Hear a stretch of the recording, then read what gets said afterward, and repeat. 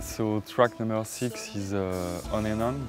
We wanted like something um, like a, a, a, a, male-ish uh, voice, but without being uh, like macho.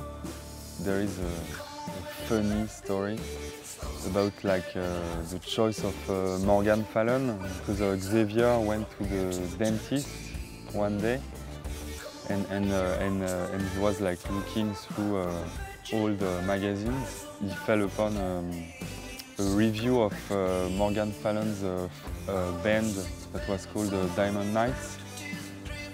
And, uh, and, and this is a, a, a record that we uh, really loved at the time. It was around 2004 or 5.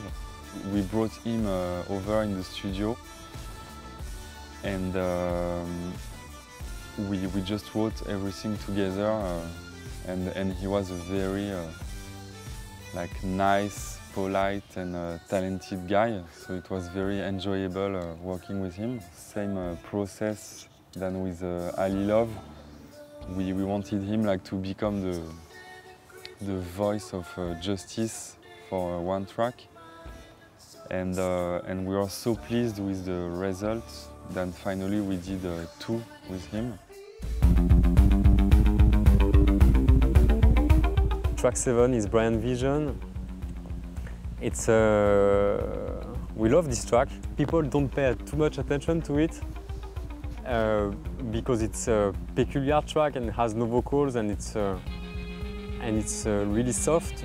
But it's much more than an interlude to us. It's uh, it's even one of our favorite tracks. And when we made this track, we this is the it was a turning point of the record because we thought okay now we have the sound exactly of the album. And it's the first track of the record that we managed to make sound exactly like what we wanted for this record. So then we went back on the other tracks that we recorded before to make them sound like this one because it has everything it has almost all the ingredients of the record in it. It's uh, it sounds really dry and uh, really like close to you with uh, only a, a, few things. There's not so much elements in it.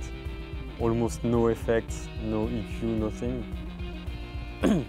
and uh, and it's also a canon, like canon in the sense that it's one line that is uh, harmonized several times, and it, it's like a yeah tough and sensitive at the at the same time.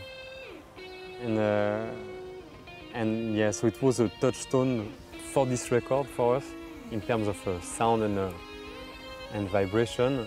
And so everything else was uh, then like, it was the template of the, of the, record in terms of, in terms of sound.